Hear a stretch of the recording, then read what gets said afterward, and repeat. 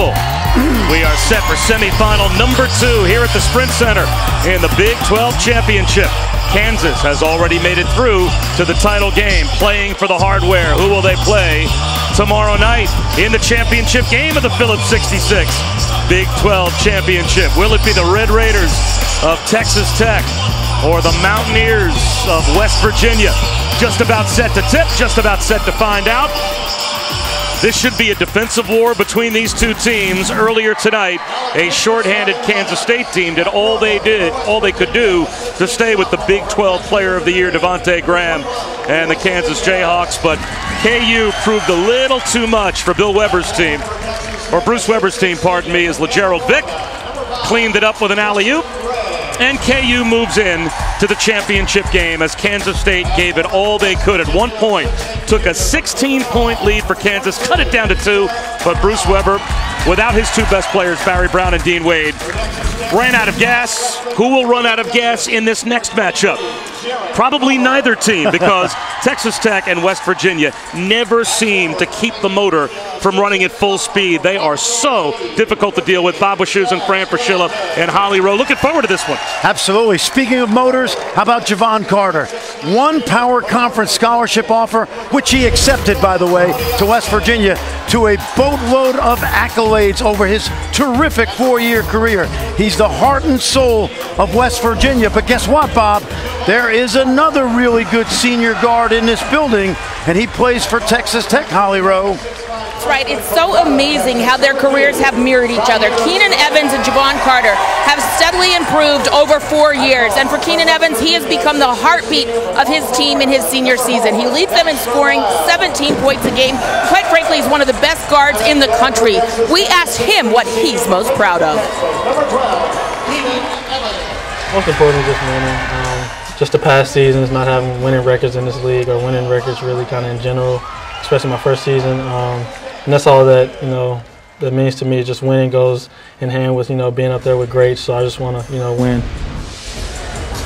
What's even more fun, they will be going head to head. Look for some special things that Texas Tech put in today at shoot around to try to help get Keenan Evans past that junkyard dog defender, Jevon Carter.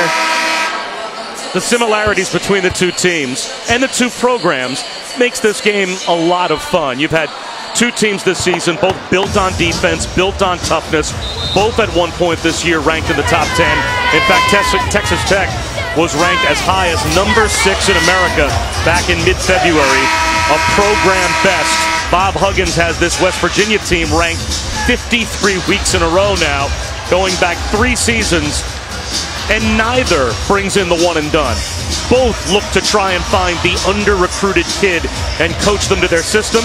And both he and Chris Beard, who shares the Big 12 Coach of the Year award this season, with Bill Self have done a terrific job this year. And Keenan Evans talked about winning. Jevon Carter has won 102 games in four years with two Sweet 16s, and he would love to add to that.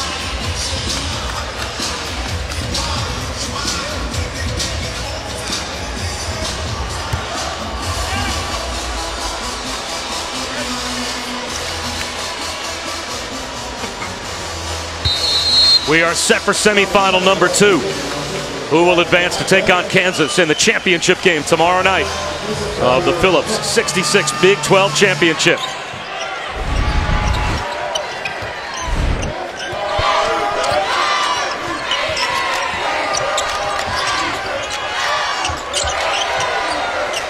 Sags Konate comes up short. This Texas Tech team is as good a team at scouting your offense as anybody in the Big 12. Good stop, first possession.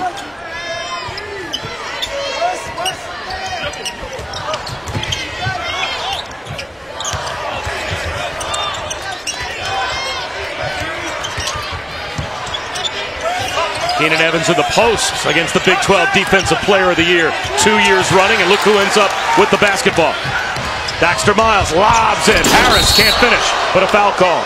Got pushed in the back.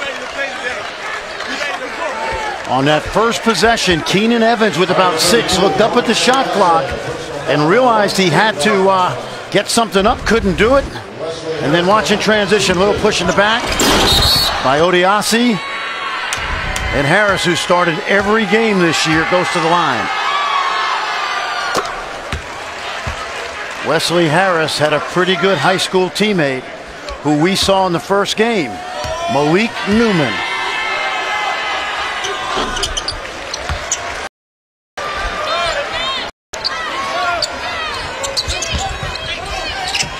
West Virginia gets set up off the miss as Esa Ahmed just about had a steal. Their press last night against Baylor was outstanding. They kept the pressure on. They wrote players in. And there's press Virginia with a trap near midcourt. Ahmed and Harris bottled it up. Odiase now in the post. Goes to a jump hook up. That's off the mark. Harris with the rebound.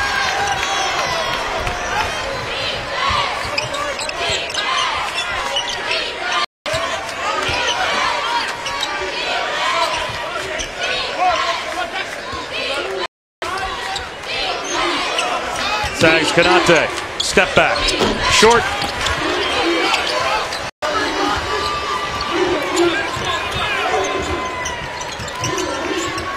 Keenan Evans thought about a three. Justin Gray along two. Jumping up in the air and coming down. Yeah, almost traveled. That was Jevon Carter as the Red Raider fans were looking for a travel. That's short for Harris. Odiase down on the ground. Konate fights with him for it. And it's going to belong to Texas Tech. Terrific job by Chris Beard this year. Co-coach of the year with Bill Self and his mentor Bob Knight. A great influence on him. He spent 10 years in Lubbock as an assistant to Bob and Pat Knight. And the defense and the ball movement, very similar. Culver tries to go coast to coast and does for the first points for Texas Tech. That's a freshman that NBA scouts are taking note of. They are. Yep, and, and Harris and uh, Smith as well. Texas Tech had a veteran team to come into this year, but they've allowed these two freshmen to be the second and third leading scorers. Sags Konate down the lane. Finger roll is good.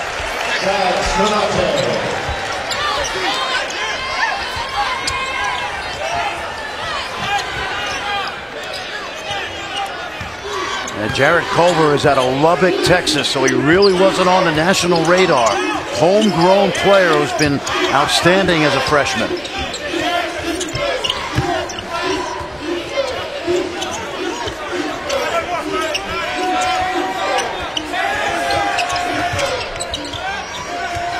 Shot clock winding down for Keenan Evans. Forces one up. Rainbow jumper, no good. Zhaire Smith way up in the air Pogo for the stick. offensive rebound. And Culver knocks down a three. That was a pogo stick rebound by Zhaire Smith. Kick out to Culver.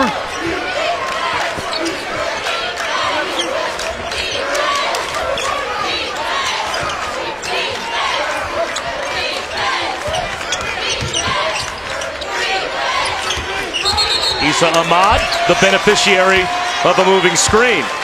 Carter called for the foul. Hard to say who's the best athlete in this league, but take a look at this guy. He's in the top three, and then a kick out to his fellow freshman. And look at that stroke, Bob. S- Smith is the better athlete and a good basketball player.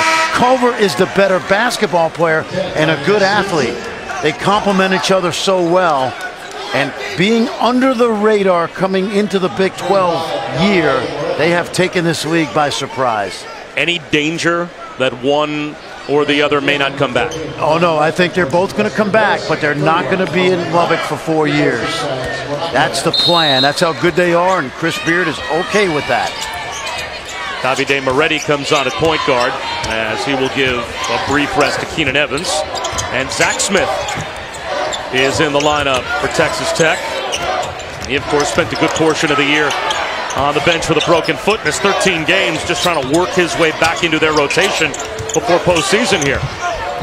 Backdoor cut and the reverse for Niem Stevenson. That's a nice feed from Tommy Hamilton. Absolutely. And when you backdoor cut, you always want to finish the cut so the passer knows you're not going to stop in mid stride. Well executed.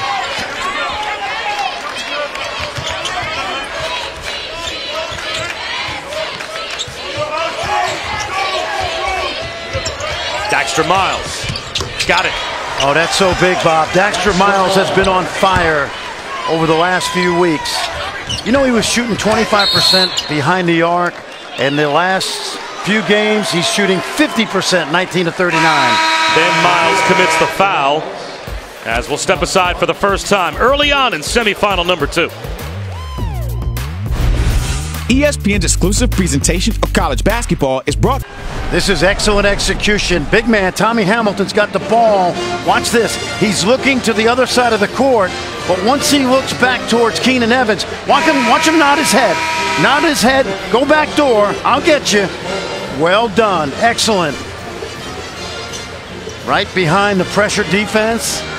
You know West Virginia's going to get out into those passing lanes, and you have to take advantage of back cutting and getting some easy ones.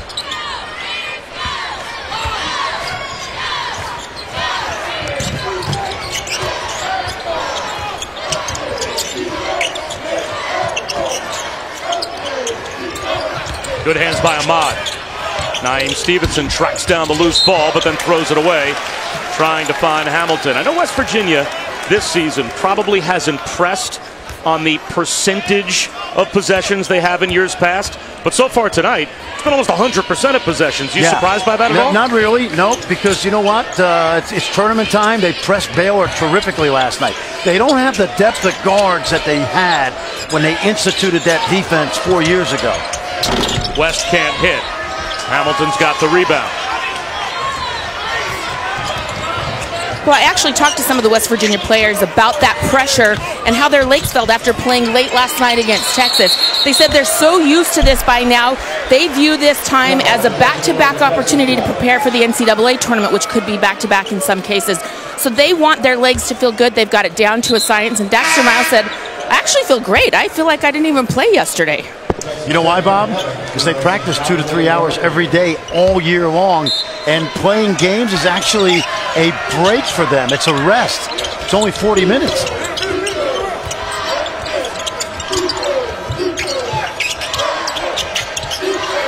Now this offense, everybody touches it. Yep. Beetle Bolden ripped it away from Smith. That's the second time, Bob, we've seen Tommy Hamilton operating away from the basket and finding a cutter. Well, this is one of the four seniors that came in under Tubby Smith, Zach Smith. He's been an all-conference player. You mentioned the injuries. But Tubby Smith laid a great foundation, not only of good players, but solid people who have bought into Chris Beard's system over two years. 15 games into the season, Zach Smith broke his foot, missed 13 games. Three out of the last four, he has played sparingly, misses a couple at the line. But after being honorable mention all Big 12 the last two years, he was a preseason first team all league selection. Everyone thought he was going to have a huge year. So that is a big time player for Chris Beard to get at the end of the year. If there's any way they can round his game into shape, imagine in the NCAA tournament what he could give this group. Well, he gives them great depth and experience. That's the start. Hamilton from the wing. Yes, for three. Uh, we've seen a nice start for Tommy Hamilton, a big man, six foot eleven, who can knock down threes, and we've seen his passing acumen as well.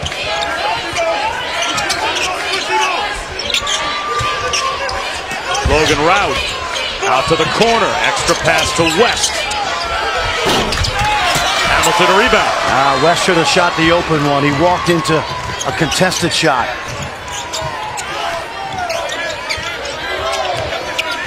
All five cut and move, and the big men can handle it. Keenan Evans with the left hand.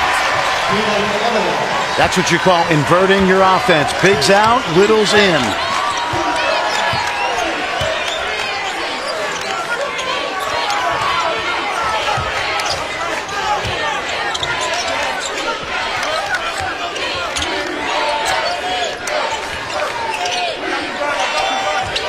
Esa Ahmed in and out. Zach Smith is going to wait for some help and get trapped. Niem Stevenson connects. Timeout Mountaineers. What a start for Texas Tech. Seven minutes in. We'll step aside for 30 seconds. It's an 8-0 Red Raider run. We are back at the Phillips 66 Big 12 Championship semifinals between Texas Tech and West Virginia for the right to take on Kansas in the title game, and Texas Tech doing work against Yeah. the trap. Now that's not the ideal place to pick up your dribble in the half court corner, but good ball movement. Today at the shoot around, Bob, we watched Chris Beard methodically put together a number of different press offenses versus press Virginia, and it helps when you have five ball handlers on the floor, including those big guys. Well, Fran, you're so right. One of the last things Chris Beard told his team at shoot around this morning was no matter what that Hall of Fame coach on the other bench throws at us, whether it's a 2 3, no matter what zone we see, you are prepared. You're ready. You'll be strong with the ball. You'll attack. He kept building this positive mindset into his group today that they're ready for anything that Bob Huggins will throw at them. Now, he's not officially in the Hall of Fame, but I think it was safe that he said he was a Hall of Fame. He will be. He's on his way. only a matter of time. And only a matter of time before Jevon Carter gets going. He's got a chance for a three-point play. Very emotional senior night in Morgantown when Carter and Miles went through that night. Take a look. Jevon Carter, he is going to hate to take off that West Virginia uniform. But offensively, defensively, in the locker room, by the way, two time All Big 12, first team All Academic.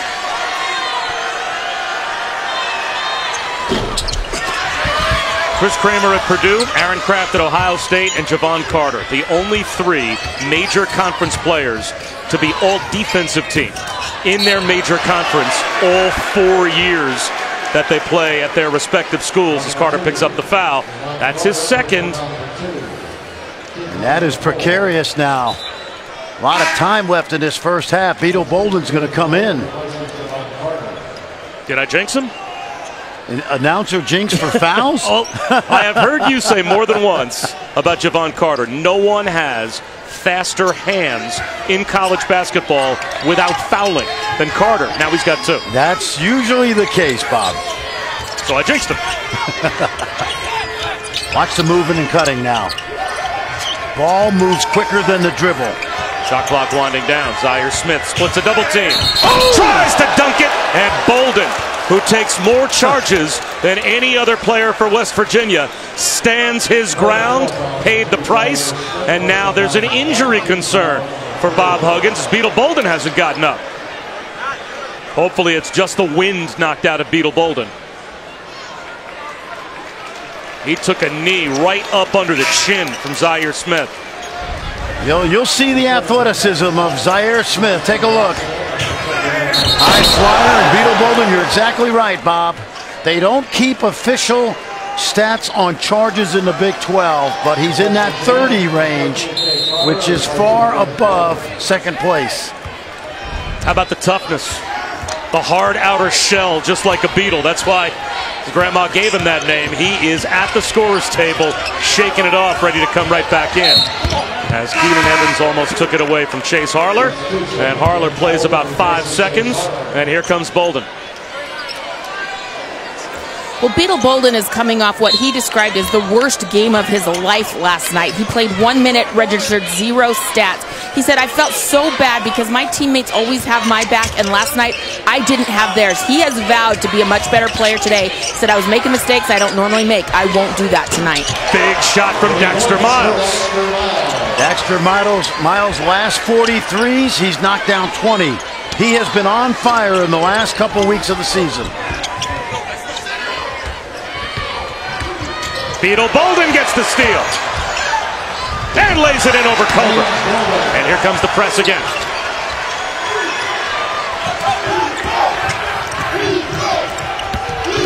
Ray blocked by Konate.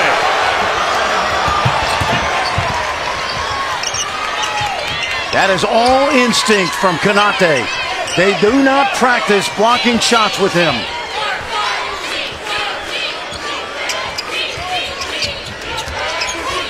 Bolden gets Odiase caught on a switch, goes right around him, lays it in. It's a 9-0 Mountaineer run. Now, Beetle Bolden has already made up for last night.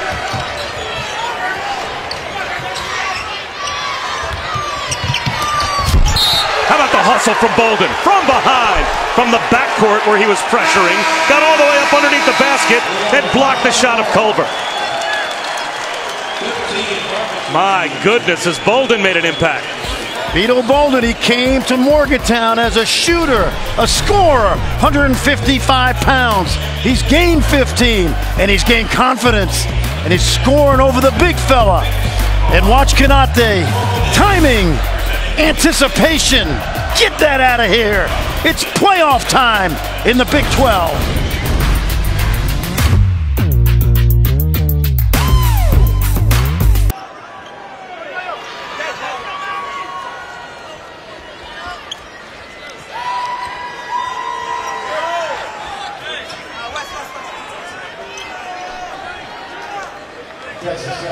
Stevenson returns.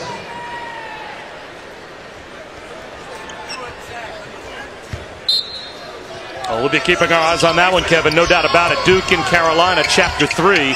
And Duke handled the absence of Marvin Bagley tremendously well. They won all four games when he was out. Let's see how they do without the depth of Duval in the backcourt. As Evans lines up at three. And the long rebounds out to Wesley Harris. Von Carter with two fouls. Be very interesting to see if he sits the entire half. A lot of it will depend on Beetle Bolden and the way he's gotten off to a great start today.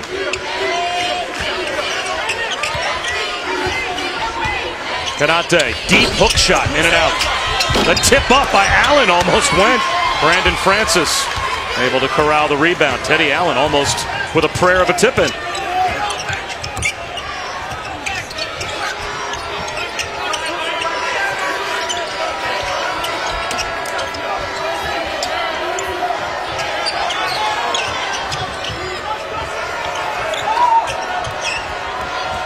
Niem Stevenson nice. away from the screen. Creates space. Fadeaway's too strong. Another rebound for Harris.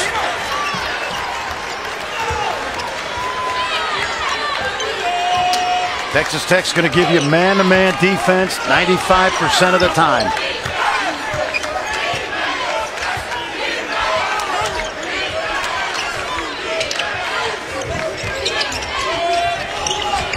Bolden comes up short for three. Thought he got bumped. I thought he was a good challenge by Odiase, the big guy. Got a hand up.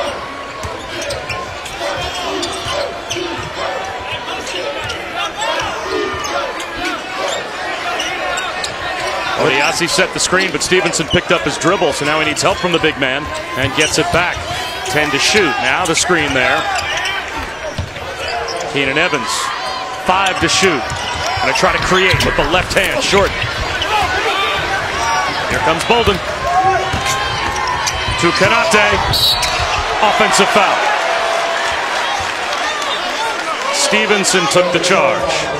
Tied at 15 here, fighting to get to Kansas and the championship game in the Big 12 tomorrow night. Well, in the ACC, the number one team in America, they're already through. It's Virginia against either Duke or North Carolina tomorrow night at 8.30 on ESPN. That follows our game at 6 Eastern tomorrow night. We'll have the Phillips 66 Big 12 championship game, and then the New York Life ACC tournament championship game would be next. And in the ACC, Bob, because of the schedule, the unbalance, Virginia beat Duke at Duke. They also beat North Carolina in Charlottesville. They've only met one time each. Virginia ran away with the uh, ACC again this year, third time in four seasons. Stevenson blocking foul on Bolden. Bolden thought he had position. That's his second. And here comes Jevon Carter to the scorer's table. How much does that change life in a conference when you have an unbalanced schedule, as opposed to the Big 12, where you know you are playing every team home and away every year? You know, it's it's. Um, I don't want to say it's not fair. It's just it's not great for the league, but because of realignment, that's what we're left with. And obviously, in a year where Virginia's so good, you'd love to see them play Duke and Carolina more than once. But uh, that's the way it is in every power conference except the Big East and the Big 12. And we've seen it all year, Bob.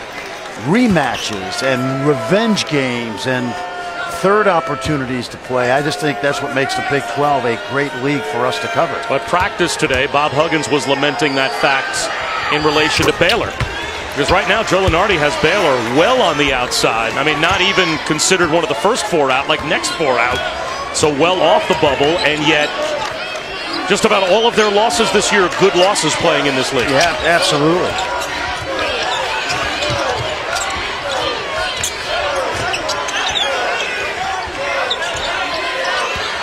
That's good defense. Look at Tommy Hamilton. Big fella moving his feet. Here comes Niem Stevenson. Off to Smith. Zhaire Smith way up in the air to hang from the rim. He went to the penthouse on that one. But Tommy Hamilton on the offensive end tonight with some nifty passing and a three. And that time moving his feet against Jevon Carter, the transfer from DePaul. And that's why they haven't missed Zach Smith quite as much, Bob, because of their depth. Foul called on Zhaire Smith. Jevon Carter once had a choice to make. Think he made the right choice? We'll tell you what that choice was with Holly Rowe when we come back. This week's sports medicine experts at the University of Kansas Health System are assisting Nick Harris I told myself, whichever sport I got my first scholarship in, that was the one I was going to take the most serious. And which was it? Basketball.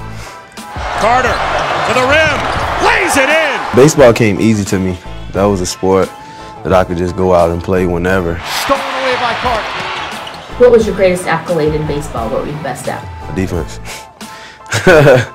golden glove. I used to win golden glove in my leagues all the time. Well, Fran, you've talked about the fast hands of Jevon Carter. He's the career steals leader at West Virginia with three steals here in the Big 12 tournament. He'll also set the single season record. So that baseball path and the golden glove paying off on the basketball court. Yeah, and he hit 600 in uh, intramural softball last spring, I heard, Bob, at West Virginia. Fades away here. The one-hander won't go, but Ahmed is there to clean it up. You could see with that athleticism, that build, quick hands, why he'd be a great baseball player. Absolutely. I think he'd be pretty good in a few sports. And in this league and in his career, he's been a shutdown defender. Dana Holgorsen might want him out there locking up one-on-one with somebody out on the perimeter? Evans banks it home. Another assist from Tommy Hamilton, whose father played at DePaul, like Tommy did, also played in the NBA. Legendary high school player from Chicago.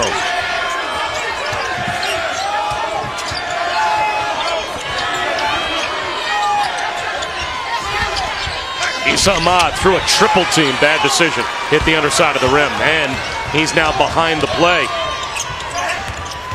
Culver with a lane. Back up to Hamilton. Good ball movement. Now it's Culver in the corner. Offensive rebound by Gray.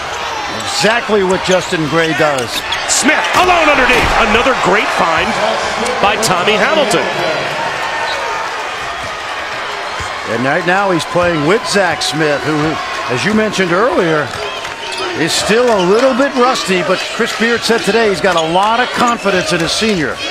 And you saw the quarterback in the house, by the way. Patrick Mahomes, the presumptive starter for the Chiefs, here to cheer on his old alma mater.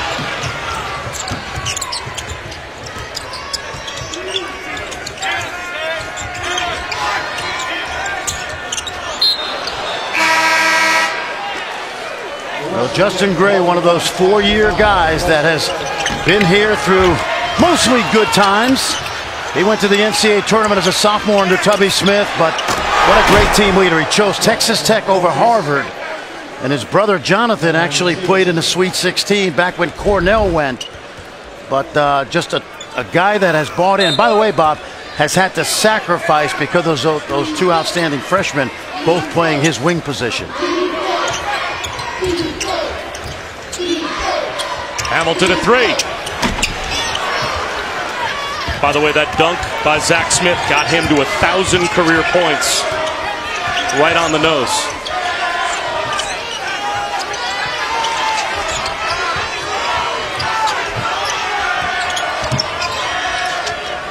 Harris a three. Yes.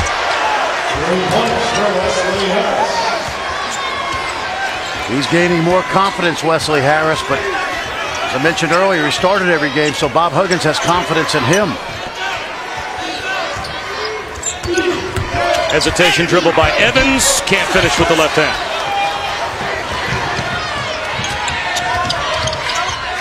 Wesley Harris, the trailer.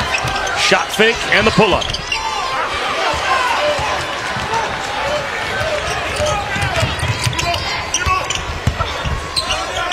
Francis off the feed from Stevenson.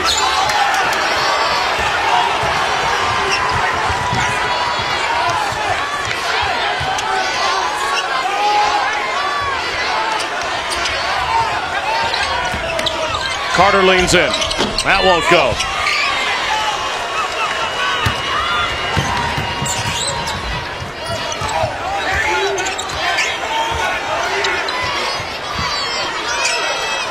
Ball needs to go side to side for Texas Tech to be effective. And that's what Keenan Evans is signaling for. Five to shoot. Niem Stevenson. Shuffle his feet. Three point lead for Texas Tech. West Virginia in a battle to meet Kansas in the title game tomorrow. ESPN's exclusive presentation of college basketball is brought to you by Principal Investments, Retirement, Insurance.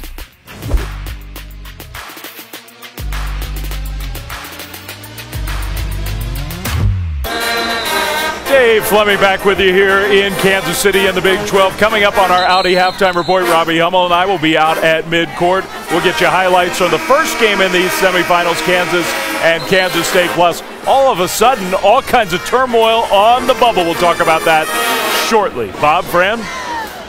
All right, Dave, thanks very much. 3.49 to go in the first half, and the playmaker is now on the sideline as Tommy Hamilton has been the top of the key orchestrator when Texas Tech's offense has been at their best. Absolutely. Three points, five assists, 11 points off those assists, responsible for 61% of the offense, and that's a guy coming off the bench, which speaks to the depth of Texas Tech.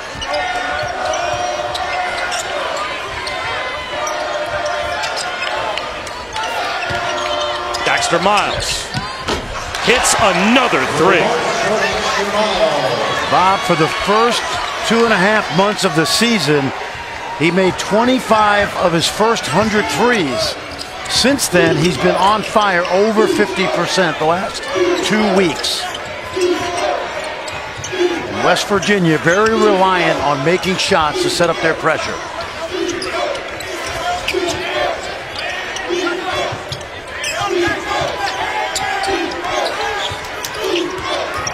Evans going to have to put one up. Shot clock winding down. A long two and a long rebound. Here comes Carter. Jevon Carter off to Esa Ahmad. He draws the foul. Remember Carter playing with those two fouls he picked up early. But Bob Huggins trusting his senior. Good decision. Don't want to run anybody over. Think about it. Miles and Carter, they played in a high school all-star game in Beckley, West Virginia after they signed. They became friends. They didn't know each other. They've been together for four years. They've been roommates. They keep their apartment incredibly spotless. But most importantly, they've been together more than any two power guards in college basketball in terms of games played. That's the first lead for West Virginia since we were about two and a half minutes in. So what was once a nine-point lead for Texas Tech, that's gone. The Mountaineers up by one.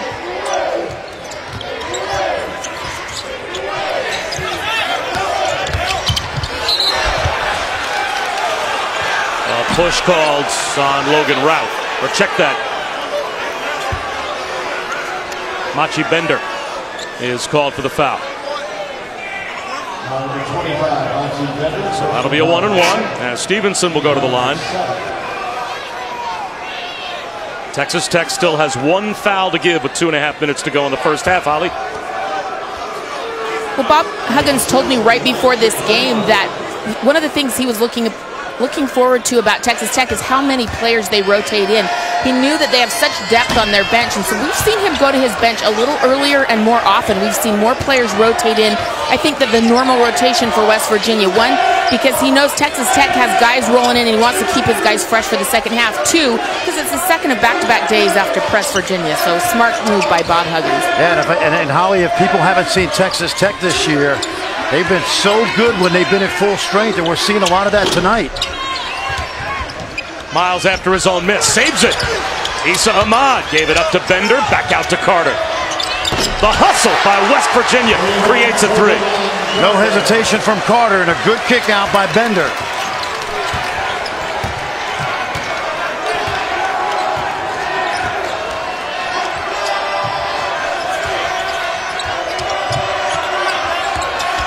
Evans leans in, too strong. Bender the rebound. Here comes Carter. Daxter Miles back to Carter in the corner, but he traveled. You, you got to know your role, Bob, on this West Virginia team. Take a look. Ball is loose, saved inside. Bender knows he's not going to score. What does he do? He kicks it out to the open man who can knock down shots.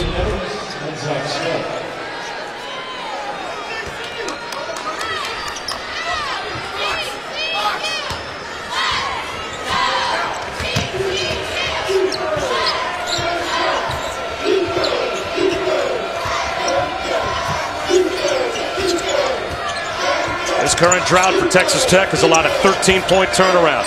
They went from nine up to four down, coming up on a minute to go in the half. Niem Stevenson, hand checked by Bender. No.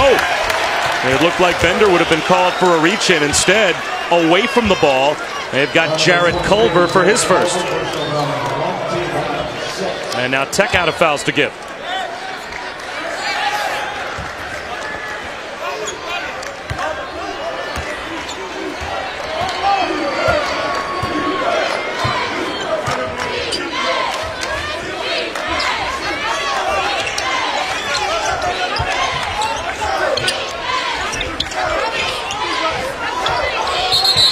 Offensive foul called on Esa Ahmad. As competitive as this tournament has been, the SEC tournament has been just as good. There have been some great games played. Florida and Arkansas currently on the SEC network.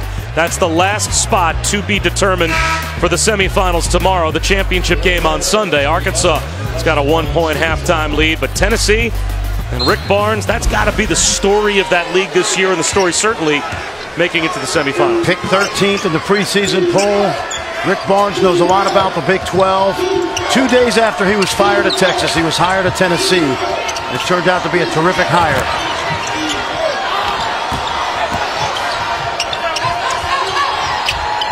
That goes down for Moretti. We've talked about the other two freshmen, but Moretti's had some big moments this year. The young man from Bologna, Italy. They think he's going to be a good player when the seniors graduate. Not much uh, of a differential. So Beetle Bolden dribbles it down to 10 to shoot.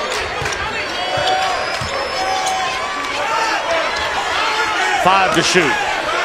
Ahmad goes away from the screen. Blocking foul called on Moretti with one second on the shot clock.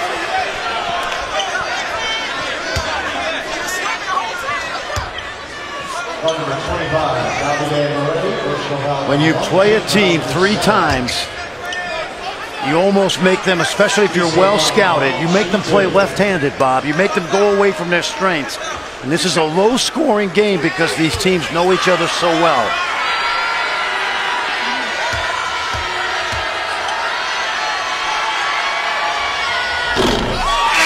Esa Ahmad now one of three at the line. Two and a half seconds to go on the half, so Harler and Konate will come on for Bender and Bolden. And a timeout called by Chris Beard, the one he can't take with him, trying to draw something up for the last two and a half seconds. Smart move by Bob Huggins by getting Bolden and Carter out. Remember, they both had two. Doesn't need them now. He's milked it. They've gotten to the half. Now, two and a half seconds here. You have to be careful because if Ahmad makes the free throw and you take it out of bounds, if you throw the long home run ball and throw it away and no one touches it, West Virginia gets the ball back underneath their own basket.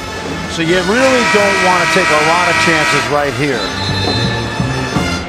And one playing time anomaly that's flown under the radar a little bit.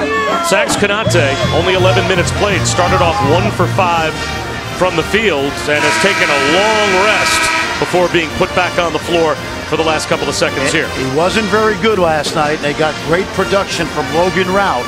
His plus minus last night, ready for this? Minus 24. That could be a reason. This young man, plus 17 last night in his career high minutes. Former walk on.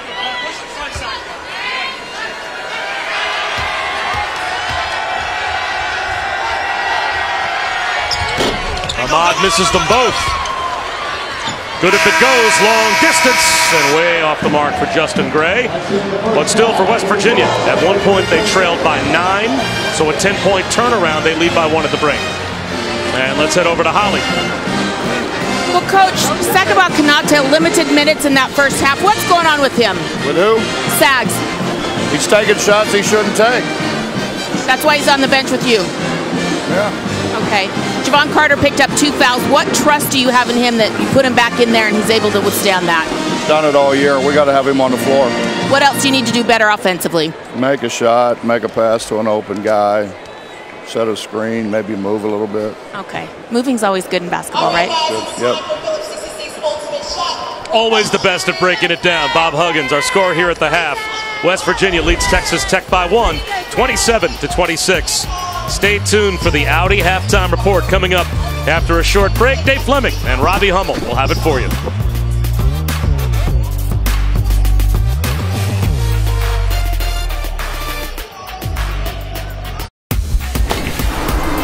We return. It's Champ Week presented by Principal. As we continue here with the semifinals of the Phillips 66 Big 12 Championship. A tight one between West Virginia and Texas Tech. As you would expect, these two teams fighting for the right to take on Kansas in the championship game tomorrow at 6 Eastern. It is the Phillips 66 Big 12 Championship. Just about set for the start of the second half. Texas Tech at one point led by nine, but West Virginia came back, put together a run, and they've got a one-point lead. Bob Wischusen here with Fran Fraschilla. We'll hear from Holly Rowe in just a moment. You can flip a switch if you're Press Virginia. It seemed like they did once Dax Miles knocked a few shots down. The whole first half changed. Yeah, exactly. When you score or you turn a team over, you get to set up your press a little easier. And Texas Tech was efficient when they didn't have to see that pressure. Not as much when they saw the press. But two teams grounded on defense, know each other well, not going to let you get easy shots. I expect the Stars to start to break down the offense a little bit, get a little bit more one on one, make some plays. How about how even the first half was as Konate starts off the second half with a smooth looking bank shot. Both teams in the first half 10 for 25 from the field. Both teams 4 of 8 from 3. Yeah, exactly. And the reason it's a low scoring game, these teams are locked in on the scouting reports. They take away your strengths. But right off the bat, Konate, good set play by Bob Huggins, getting them an easy one.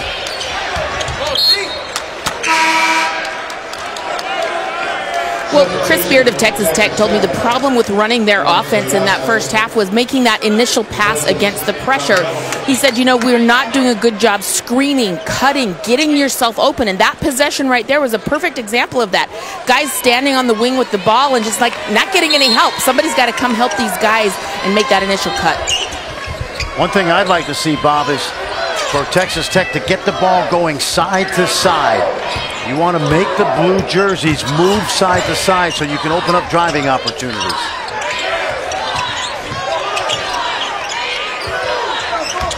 Culver down the lane, lost it. Taken away by Ahmad. Here comes Wesley Harris. And he'll wait for some help.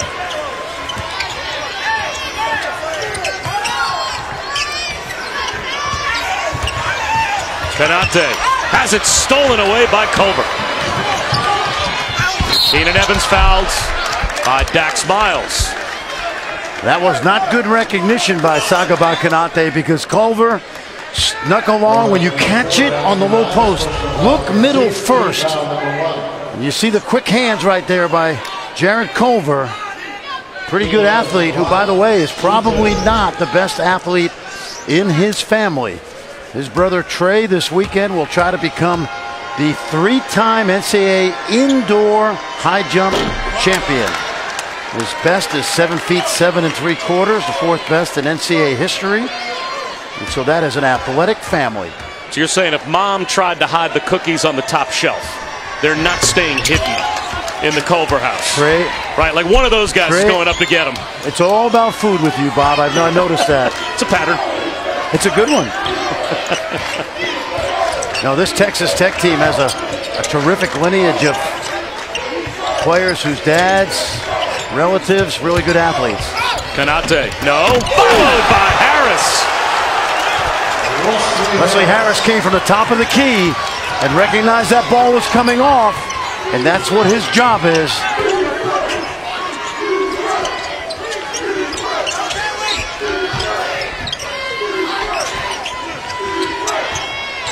See, this ball has got to get swung to the other side. Otherwise, they're going to play two on five.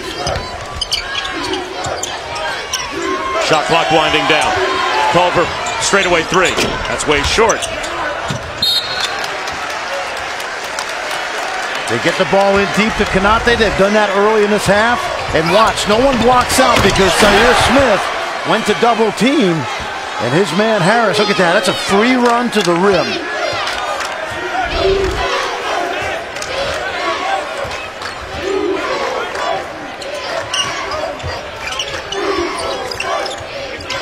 This should be a post up. But it's not. Instead, it's a three. the back tap, and Culver's got it for Tech. It should have been a post up, Bob. I told you. Culver down the lane, takes the bump, finishes, plus the foul. Now that's just a lack of awareness by West Virginia. They did not get five people set. Take a look. No one stops the basketball. And uh, Esa Ahmad didn't even turn around. As a senior in high school last year in Lubbock, averaged 28 a game and hit our radar. He was number 80 on our ESPN 100. And our ESPN recruiting guys had Jarrett Culver ranked as the eighth best prospect in the state of Texas, but stayed home and went to Texas Yeah, Tech. and that's underrated. There were not 79 better players in the country, but because of where he was in West Texas, he kind of did fly under the national radar.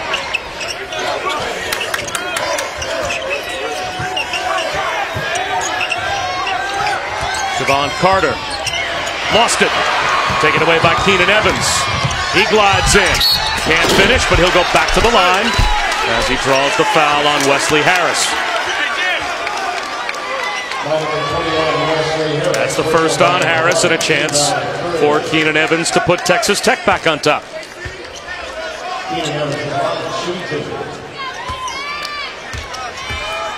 When you think about the Big 12, yes, Kansas gets some one and dones. Texas has gotten a couple.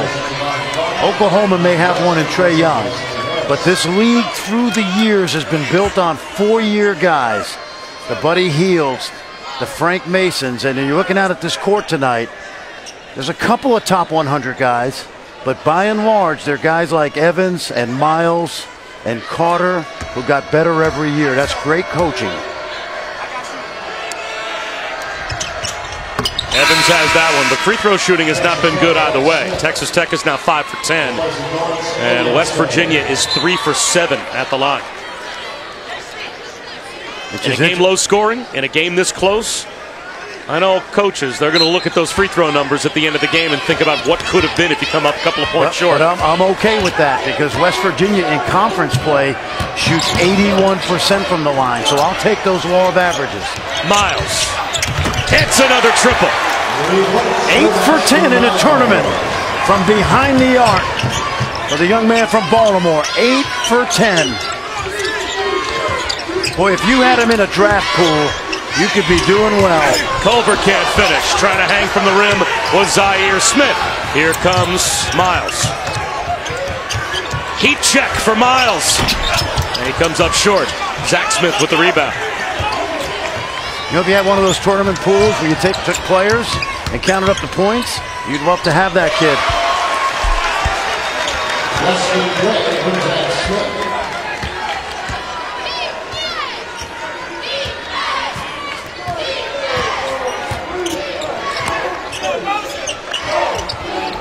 A little more flow right now, both ways offensively. You see the ball moving a little bit better.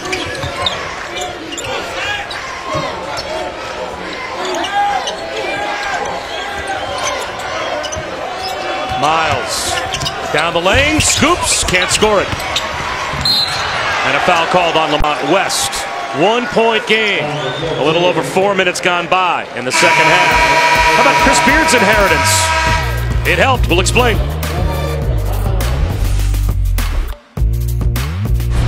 ESPN's exclusive presentation of college basketball is brought. We inherited a great base from Hall of Fame coach Tubby Smith, his wife Donna, Joe, and Pooh. And these guys did a great job, Vince, with the program. So we knew we inherited winners, guys that understood how to defend. We had to add some pieces in recruiting. We've done that. So um, I, I, had a vision that we could be a part of the fight, and uh, it's fun living it out. Well, Chris Beard has done an unbelievable job in his second season with Texas Tech, taking them to new heights, number four ranking and number two seeding here at the Big 12 tournament. But what I love is he acknowledges that some of those pieces were in place before he got there, but he's done a good job coaching them. And the other thing I love, his five seniors, he told them after senior night in the locker room, when we win the championship and get rings, you guys will all be part of that and get those because you've laid this foundation. Well, that's what we call, Holly, coaching etiquette 101. There's two things you do, Bob, when you take over a new program, when you're the new coach. If, if, it's a if it's a bad program, you never criticize the coach you took over for. You don't say, well, we inherited a mess and we're cleaning it up. Conversely, when you take over a really good program, you compliment the coach who you replaced, and obviously Tubby Smith is a great coach, and that's what you call security in yourself feeling secure about your own coaching ability that you can acknowledge a coach who's had success. Doesn't always happen.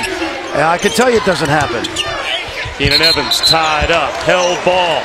Defensive player of the year in the league. Making like it there. Jevon Carter tied up Evans.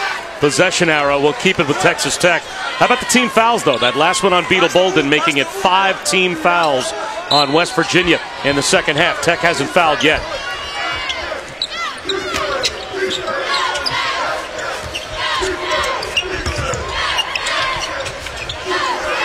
All alone, it's Francis, short for three.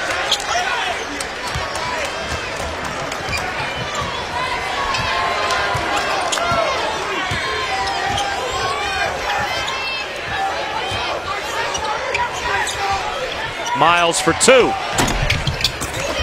Konate keeps it alive, draws the foul. That's the first of the second half on Texas Tech. It's going to go against Zach Smith. That's his first. Yeah, that was a battle inside, Bob, between Hamilton and Konate.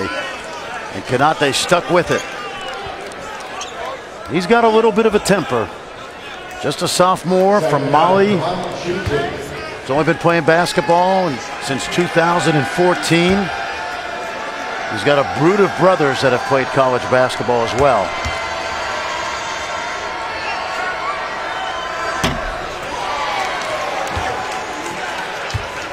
His brother Bakary played for Minnesota. And Sags Konate, you know, one of 14 siblings, grew up playing soccer, but only took up basketball after he followed some of his brothers over to the U.S. So his really first serious exposure to basketball was when he got to high school and came over to the U.S. Well, it's assistant coach Erik Martin who handles the big guys. He's been a big brother to Sags Konate and has not only worked on his offensive game, but just his temperament. And remember, Martin was the guy that played on Bob Huggins' first Final Four team and understands how to play for Bob Huggins. Don't think that isn't important. Hamilton to Stevenson, tied up by Carter. Forced one up, no good. And Sags Konate takes it away.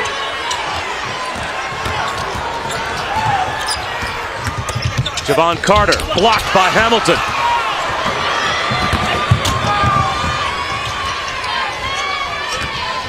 Keenan Evans will drive it. With the left hand, he can't finish. Brandon Francis can.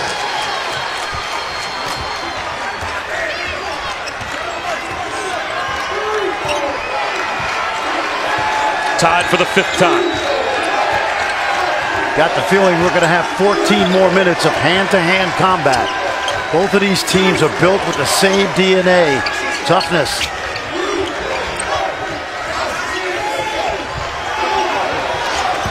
Konate in the post, five to shoot. Back outside, Carter. Got a three. And how good was that? That time he caught the ball and looked to the middle of the floor. And when you look middle, you see 90% of the floor. And that time he saw the open Carter. Let's watch now. He's got that jump hook in his arsenal, but watch him look opposite. And when you look middle, you see 90% of the floor. And most importantly, you see a guy like Carter who can knock that open shot down.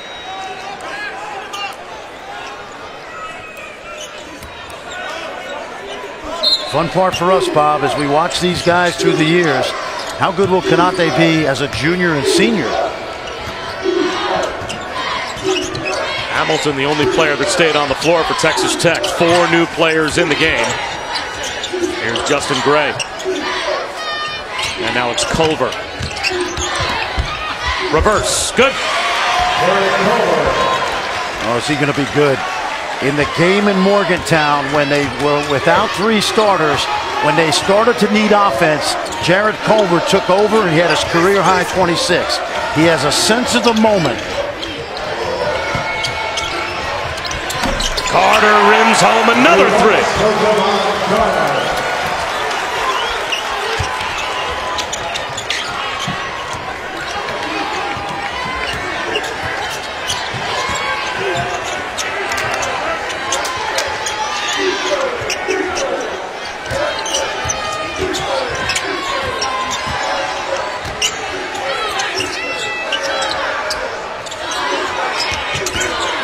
Zhaire Smith tripped up.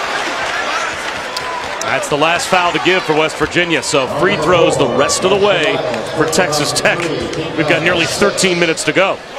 And conversely, Texas Tech's only committed one foul this half. And that's the third on Dax Miles.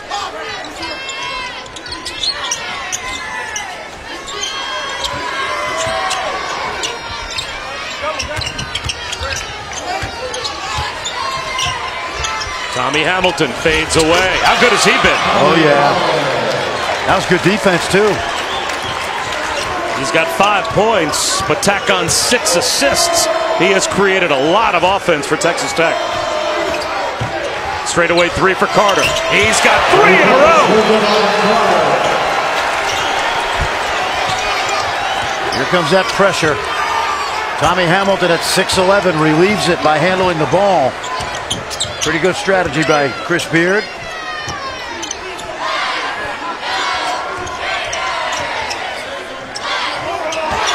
Hamilton can't catch up to the pass from Moretti. Tommy Hamilton, the transfer from DePaul. This is a team of role players. Everybody knows their role. Tommy Hamilton puts it in the basket. And when you talk about some of the best players to come through this league, you put Jevon Carter at the top of your list.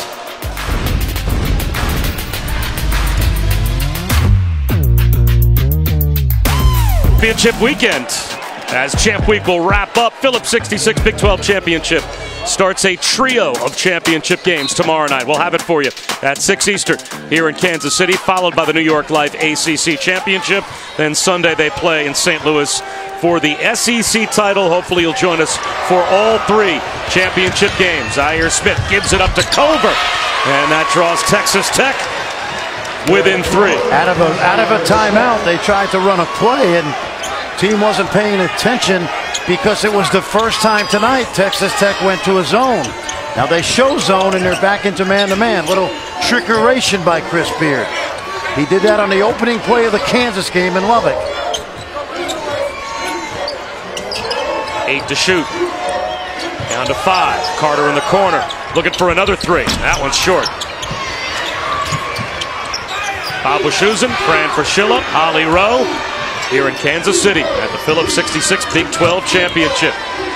And exactly the game that we expected. If you get a basket, you earned it against both of these two teams the way they play defense. Yeah, you are correct. Culver on the drive. Great hands by Carter. Nice try on the follow by Zhaire Smith. And a good rebound for Lamont, Lamont West. And Smith never really got both paws on that ball to get it up at the rim.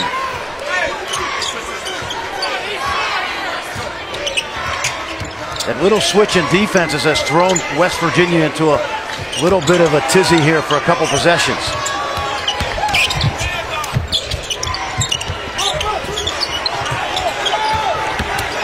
Carter flips one up, won't go. Saved nicely by Wesley Harris on Zhaire Smith, so that's going to give West Virginia a fresh 30. And that'll bring Sags Konate back in. And this is why Wesley Harris is in the lineup, not for his scoring, but for his rebounding and hustle. You see right there, it's exactly the right play.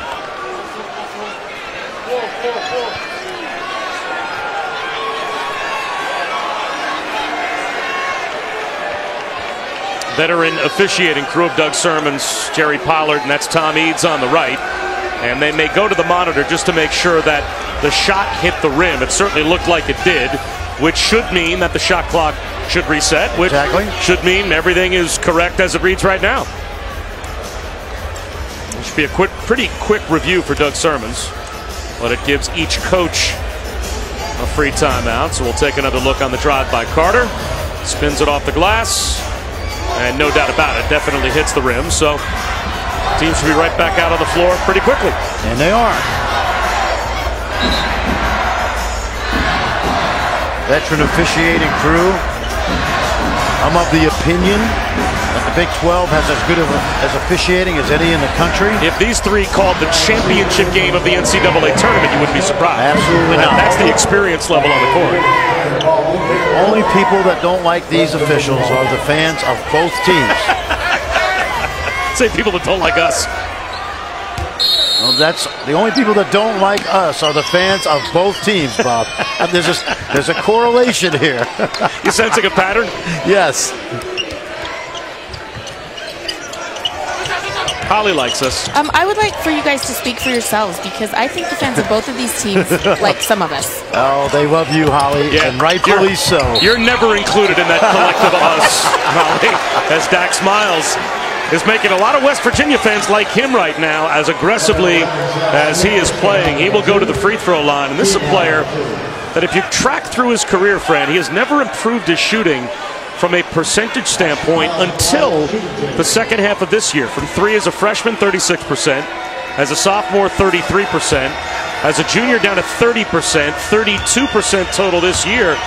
But he can be streaky, and boy, has he been on the right side of streaky over the last couple of weeks. You know why he's been streaky good lately? Beetle Bolden. Because when Dax Miles missed missed a couple games, it was was under the weather, lost his starting spot. Beetle Bolden went into the lineup, played well. Dax Miles said, "Well, I'm going to have to earn my spot back," and he has. And boy, is he knocking down shots. Well, guys, Daxter Miles took that to heart. He said, you know, I wasn't that upset to not be in the starting lineup because part of it was health related. He got ill, and then he had an ankle injury that kind of had limited him. So he understood Coach Huggins' decision. But what he did when he got back healthy is he got in the gym. He said, I would do two a day practices in the gym by myself before practice, and then I would do another late night session. So that's four times a day he was getting into the gym to get up extra shots. And since then, he's been averaging almost 13 points a game to complement that hard work that paid off. So, you know, it was a little bit of motivation being out of the starting lineup, but more importantly, he got healthy and got in the gym. Foul called away from the ball on Hamilton. Competition is a good thing. It is. And cutting back door against pressure is a good thing too, Bob. And a good decision right there. Good finish. Watch this. And this is Tommy Hamilton again. Boy, he has become terrific at the high post. And that's what you do with the motion offense. You don't you can put your big guy anywhere on the court you want. Another three for Daxter Miles. That speaks to him living in the gym.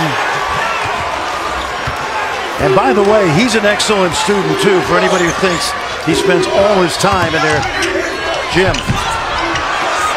Another rebounds for Wesley Harris. Here comes Jevon Carter. He attacks Hamilton. Hamilton got a piece.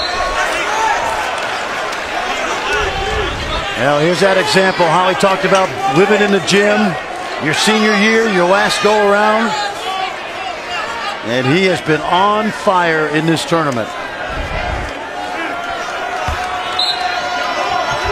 You know, it's one thing to be a good shooter or get hot. It's another thing to get hot at the right time, like in a conference tournament.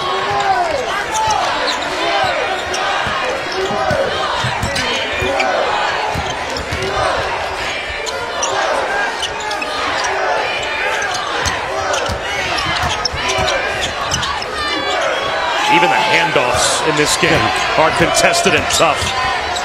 In the corner, looking for a long-range jumper and finding it is Justin Gray. That is not his strength, Bob. 24%. But shot it confidently. That is his sixth made three this season, and it comes at a big time. He made a couple big ones at Allen Fieldhouse to start the season. That big win over Kansas. Carter. That triple comes up short. And a foul on Harris. That's a shooting foul. That'll be a one and one at the other end. So Evans will go to the line.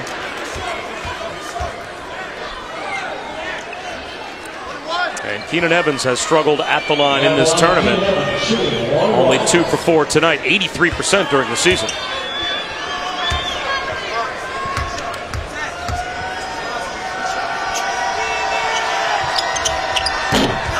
Missed again, but an offensive rebound. Zhaire Smith. And he gets the foul on Konate. This young man is a freak of nature, Zhaire Smith. I think Jericho Sims and Zhaire Smith, to me, both freshmen, the two best athletes in this league. Sims at Texas, Zhaire Smith out of Garland, Texas, right outside of Dallas. You know, he reminds me of John Starks, former New York Knick. He looks a little like him. He does. Jumps a little bit like him. Well, Fran, you're talking about what a good athlete he was. He was actually a two-sport athlete. He was a very good running back in football. He said all the way up until ninth grade, he was a running back until he started kind of concentrating on basketball. But if you look at the build of his lower body, his quads, his thickness, he is actually really well built.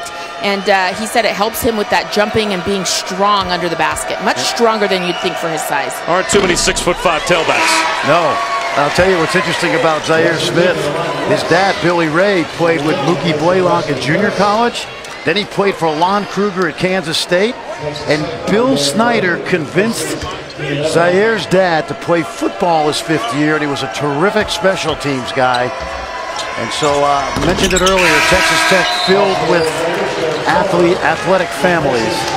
And that young man is a great athlete.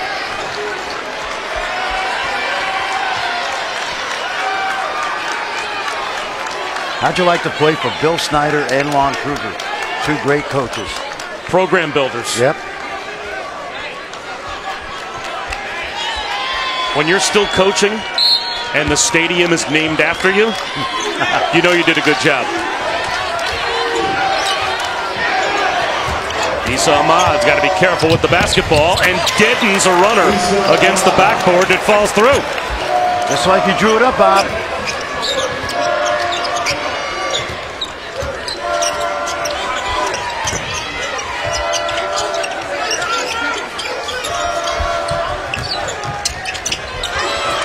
Hamilton, a rare miss with a pass. Here's Miles. This would be a rare miss. And he finds the bottom again. Wow.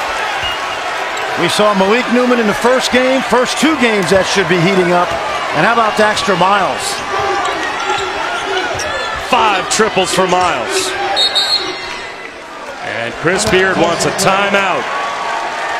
Just a moment after Texas Tech took a six-point lead and cut it down to one, West Virginia pushes the lead right back up to five. Little backdoor action. Daxter Miles hotter than fish grease.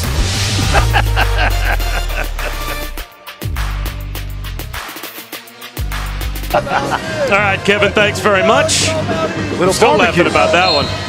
Oh, they'll love that in Morgantown. Number one pick in the draft, DeAndre Ayton. I believe so. It's three months away. A lot can change, but uh, that young man has had an amazing year. And the most im- impressive thing to me, Bob, is he plays hard on both ends of the floor. Evans to Culver. Long rebound, run down by Jevon Carter. Speaking of playing hard at both ends of the floor, that encapsulates these two teams. Oh, there's no question. And, and I like what Tech is doing as far as getting ready for next week. These teams are going to be uh, a handful in the NCAA tournament. I think Tech can go. I honestly think they they can get to the Elite Eight. And, and if West Virginia is making shots the way Miles and Carter have, they can as well. Niem Stevenson lost it out of bounds, knocked out by Lamont West. It'll stay with Texas Tech when we come back. The final six and a half minutes in a moment.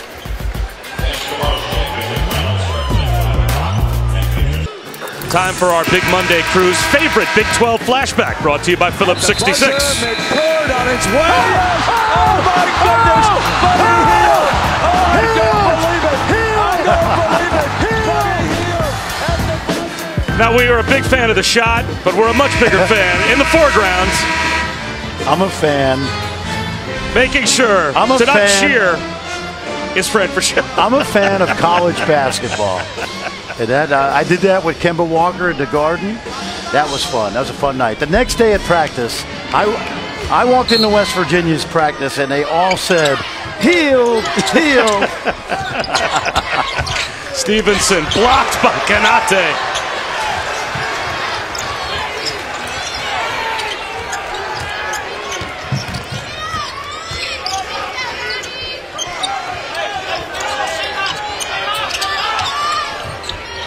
Miles fouled shooting at three.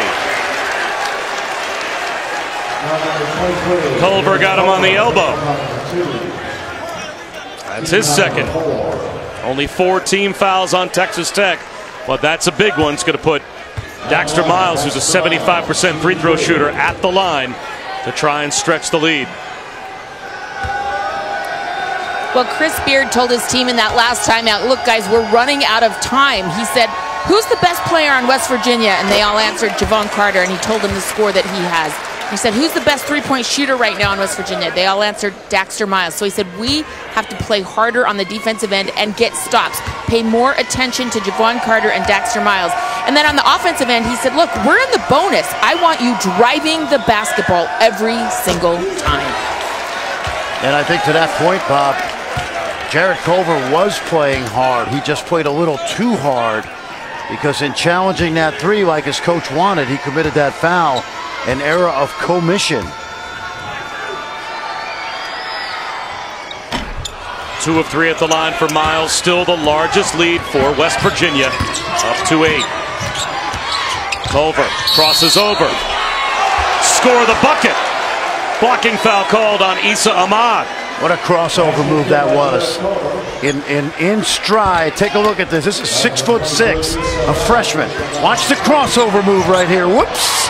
Goes by and you see Ahmad sliding in there. I thought he was moving. See him move to the right? But what a move by Jarrett Culver. The first time we saw him, Bob, when we saw him at, at the uh, Garden against Seton Hall, he came out on the court. He looks like an NBA player. He's not there yet, nor should he be, but he's got the prototype shooting guard build. Harrison for Ahmad. And now Texas Tech will set up some pressure.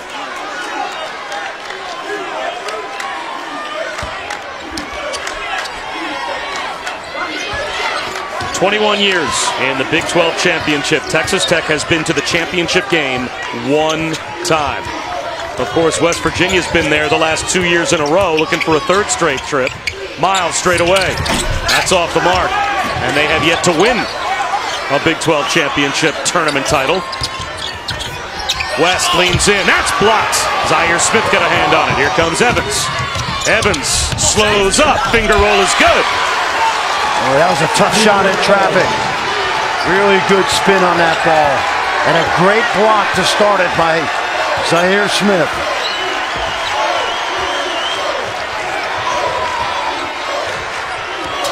Konate off balance.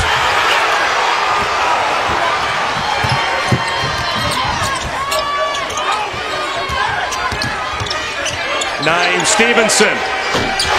From the corner and we're tied. First guy Chris Beard signed when he got the job, Niem Stevenson.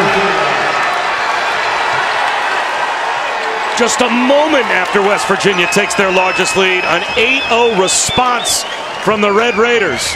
Right where we expected to be, tied with under five to go. Well, these guys have that winning DNA. Let's take a look right here. Watch the block by the freshman. And then Keenan Evans, this is terrific agility. Finishing it, good spin. Nicely done. And then right here, drive it, draw to D. And then Niem Stevenson, another one of those Dallas kids. He's a junior college player who Chris Beard signed about a week after he got the job.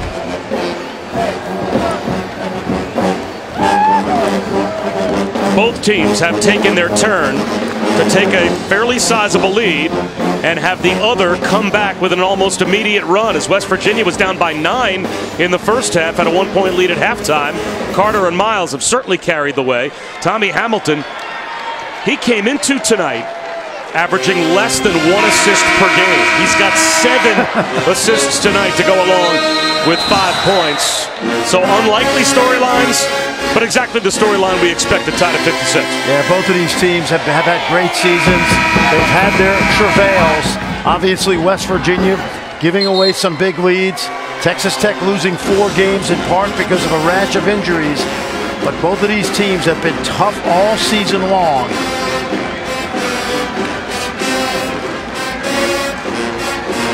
I think the interesting thing for Texas Tech, and they've done this from the very start of the year, two freshmen in crunch time on the court. They stepped into this lineup in November, and they didn't play or look like freshmen.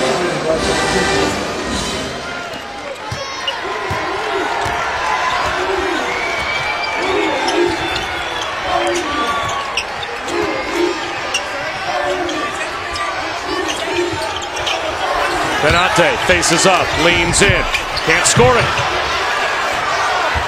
Texas Tech has not had the lead since we had a little over five minutes to go in the first half.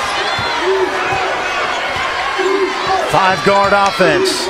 Think about that. They're spreading the floor with five guards.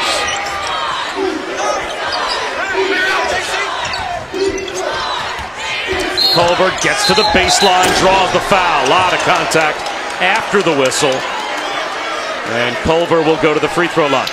Here's what I want you to think about, Bob. Texas Tech runs an offense. We call it motion. It's random.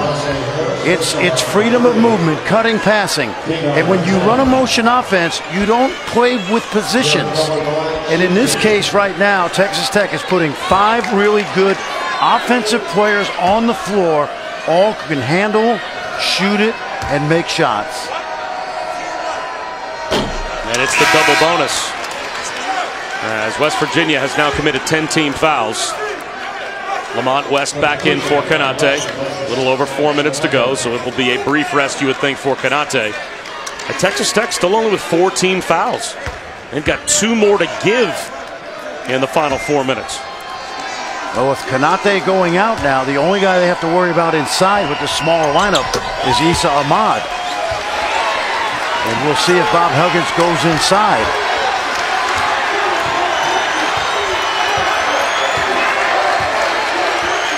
Gray on Ahmad, so they're going to look that way. Watch.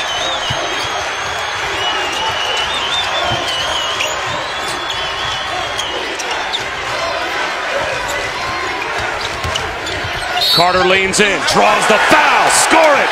A chance for a three-point play. Jevon Carter puts West Virginia back on top. What a final 354 we expect to have as Jevon Carter. He's got 16. Miles has 21. The two guards have carried the Mountaineers.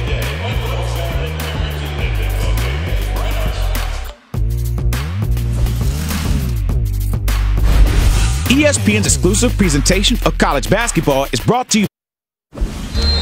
Champ Week continues. The Jayhawks already in the Big 12 championship game. Player of the Year got the job done and help off the bench. Mitch Lightfoot, a great job off the bench in place of the injured Udoka Azubuike. The supporting cast gave Devonte Graham the support he needed. And Kansas has advanced with an 83-67 win over a short-handed Kansas State team in one semifinal. Who will join them?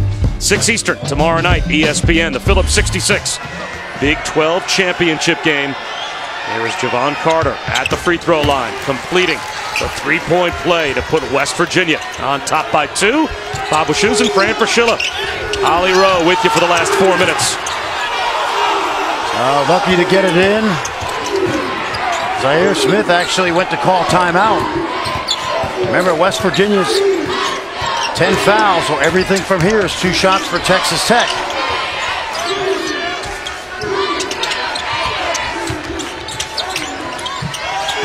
Shot clock winding down. Culver a long way from the goal. Four to shoot. He's going to have to force one. Instead, it's Evans. Just about banked it home. Great defense by West Virginia.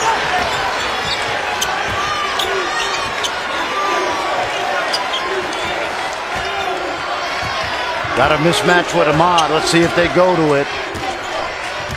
Looks like they're going to spread.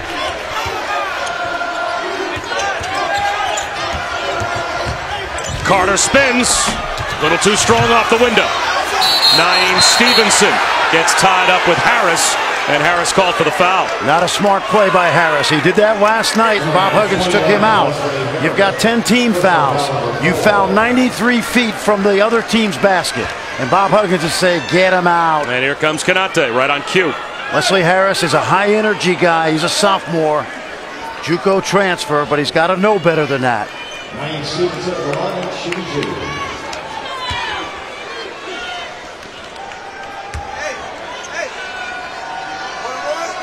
Stevenson, a 70% free throw shooter. Texas Tech is now 9 for 17 at the line. And West Virginia no better. They're 9 for 15.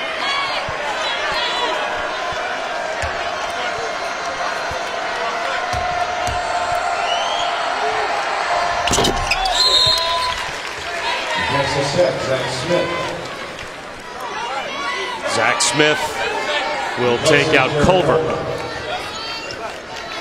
And that's a that's a, mat, a matchup substitution there because with Konate and Ahmad in the game, Chris Beard needs a little more size. And he's walking Culver right back to the table. Mm-hmm.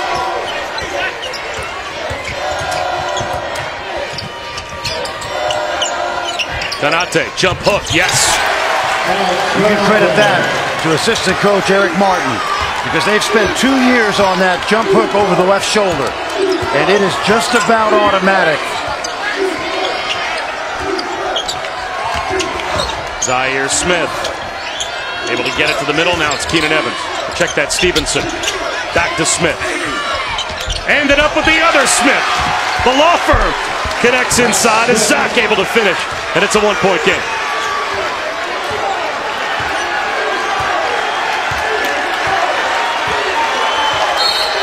Timeout called by Bob Huggins.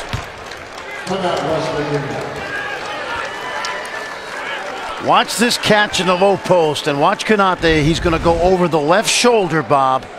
He's looking for position. Now when the ball comes in, turns left shoulder, and he he can make it either banking it or straight in. But watch Smith and Smith. The freshman it gets in trouble, but what does he do? He draws two defenders and Zach Smith in the right spot at the right time.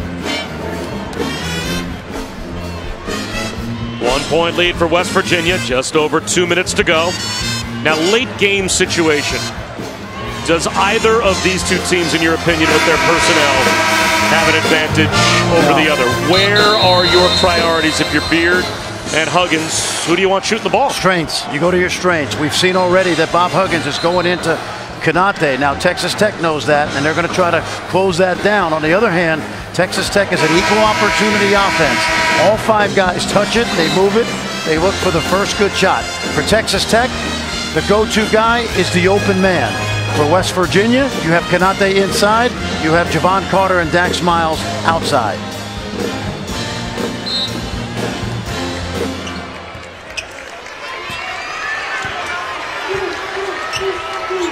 The reason you like to go inside here is because if you miss, you still have a chance to get to the foul line.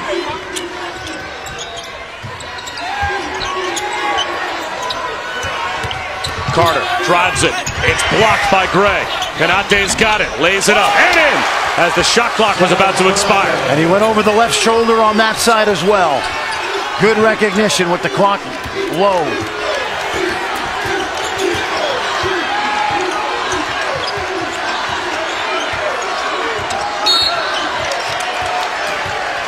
Foul on Daxter Miles. Again, it's the double bonus. So two free throws. That's an easy call. Dax is going to impede his progress off that double screen, and he got in the way. Take a look. Well, Hugs didn't like it, but he doesn't like any call, so it doesn't really matter. And that's four on Daxter Miles. So if this game goes to overtime, and it might, that's been the hottest hand that West Virginia has had. He needs to be careful.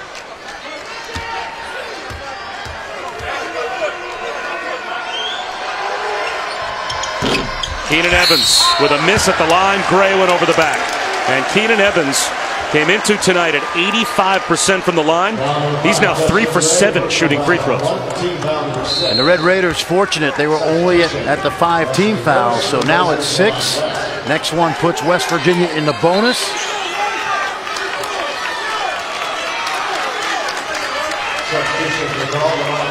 And the Red Raiders bob back to a small lineup. That means Gray on Konate.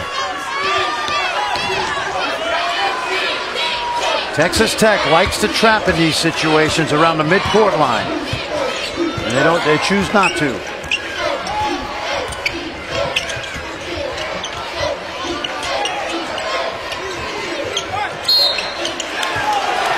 Foul on Gray. That's it for the fouls to give. That's number seven. So it will be a one and one for Konate. And he's an excellent free throw shooter for a big man. at 79%.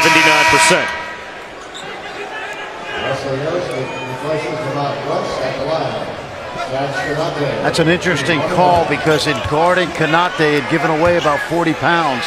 Gray's technique was really good until the very end, and then he pushed off. Chris Beard did not like that call. And Doug Sirmons wants him to sit down.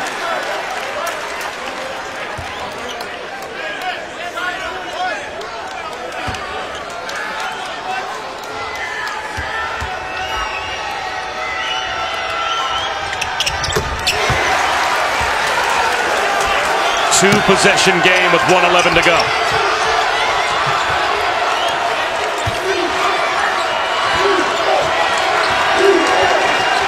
Now it's about stops for West Virginia. And you've got a couple great defenders out there, one at the rim and one on the ball. Keenan Evans, tough shot, gets it to go, plus the foul. You score on Jevon Carter, you're doing something. That was a really good matchup. Evans took it deep, hung in the air, drew the contact. This is a tough move. Look at Carter. He gives no ground, but Keenan Evans makes a tough shot. And he needs this free throw. Three of seven at the line.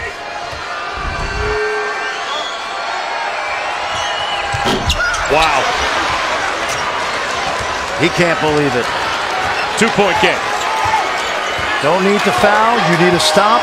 And with a small lineup, you got to get five guys on the glass if you're Texas Tech. For West Virginia, Jevon Carter loves these situations if they can't get it inside. Carter, five to shoot. He'll drive it. Wrap a pass for Konate. Out of bounds. Stays with West Virginia, but three on the shot clock. And it looks like Bob Huggins will use this opportunity to try and draw up an out of bounds underneath with three to shoot. Okay, here's what we got here, Bob. Chris Beard and his staff, they know what's coming. It's going to be an inbounds play underneath. It's got to be something quick, either Carter out to the corner and inside quickly or right inside. Now, here's where West here's where Texas Tech is really good. They love to switch in this situation. So no matter what screen you set, they defeat the screen by switching. And if they do a good job, they're they may have they may force West Virginia to have trouble getting this ball inbounds. This is as good a scouting report defensive team as there is in the Big 12. For those just joining us after the Duke North Carolina game, we still have 29 seconds to go in the semifinals of the Phillips 66 Big 12 championship game between West Virginia and Texas Tech. These two teams fighting to get to tomorrow night's title game at 6 Eastern on ESPN. The right to take on Kansas for the Big 12 championship. Three seconds to shoot for West Virginia. It's into Dax Miles, fades away. Short. Culver's got it. Shot clock turned off. Big time stop by Culver.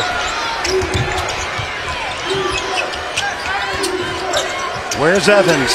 Here He's he got is. it. Evans. Contested three. Way short. Zhaire Smith keeps it alive. Stolen by Miles. Six seconds to go. Daxter Miles is fouled.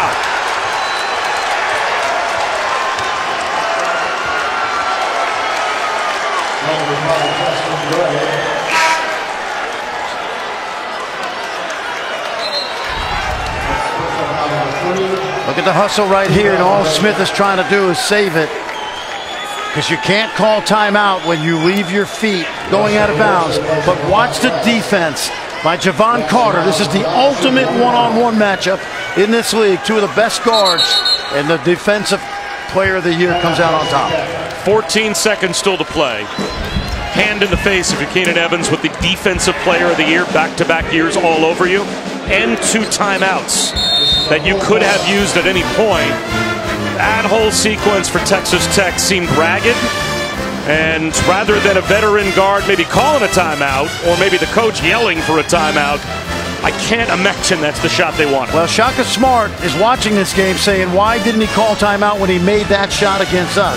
You have to just remember and trust your guys.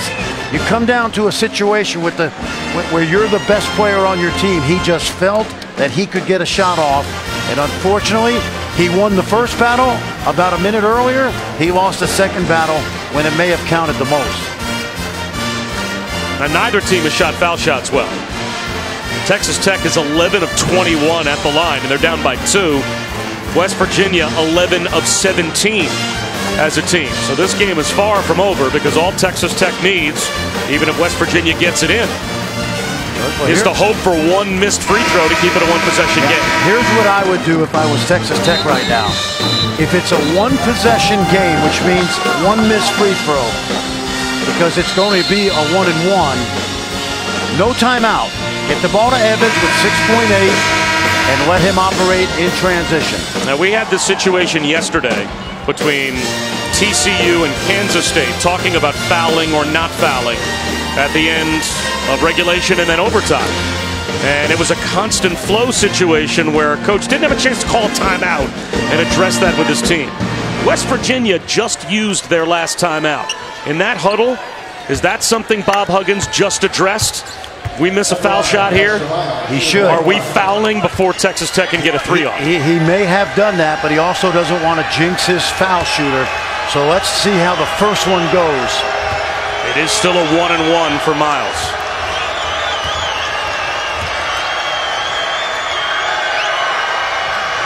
And he's got it. If this is a miss, I is West Virginia it. of the mindset to foul? I think they are. And if it's a miss, and I'm Keenan Evans, and they're going to take the timeout here. Well, Chris Beard's going to call a timeout, which will give Bob Huggins the opportunity to address, I would think, exactly that with his team as well. It's amazing with 6.8 seconds to go how many different strategic machinations Yep. can be taking place right now in both of these huddles with the game on the line. This is why this is why you practice these situations. In football, we call this special teams, okay? In basketball, we call them special situations. So let's take them. If it's if it's a four-point game, then Texas Tech, what I would do, throw it, let the ball drop through, throw the ball the length of the court like a home run plate to catch it and lay it in because West Virginia's not going to foul. And then you you utilize very few seconds. If it's a three-point game, get it to Evans, let him go up to court. If you're West Virginia right here and it's a three-point game, you want to foul somewhere before midcourt. But you got to make sure that that player is not in the act of shooting.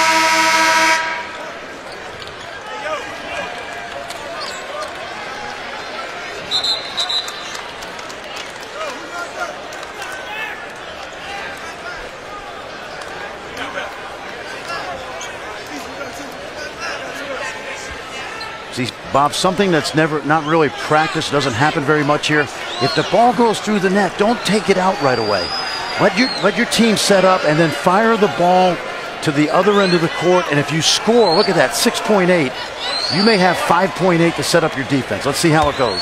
It all hinges on this free throw from Daxter Miles.